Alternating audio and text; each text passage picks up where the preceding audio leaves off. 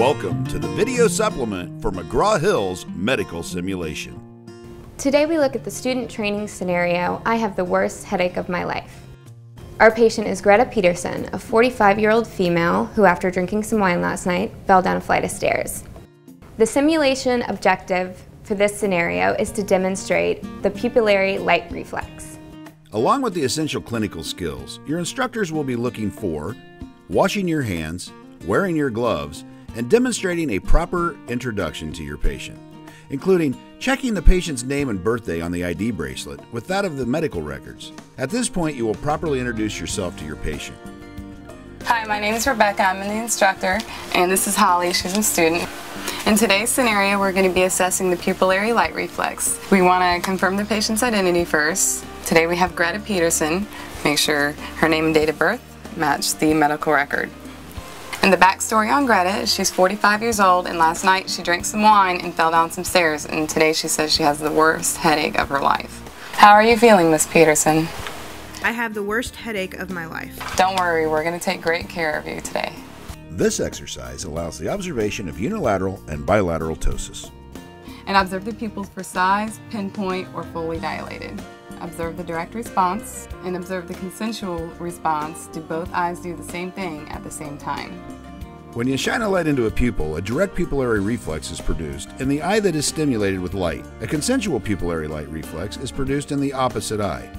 In today's scenario, we're going to be assessing the pupillary light reflex. And how you do it is you take a non-LED pen light, shine it into the patient's eyes, and look to see whether their eyes constrict or dilate. And I'm looking at the left eye, here's the right eye. His left pupil was dilated and non-responsive to light. The right pupil was moderately dilated and sluggish to light. Make those notations on your clipboard. Okay? And then you want to take off your gloves and wash your hands with the alcohol sanitizer. And the last thing you need to do is complete your student simulation worksheet. Don't forget to wash your hands, put on your gloves, and check your patient's name on the bracelet against that of the medical record.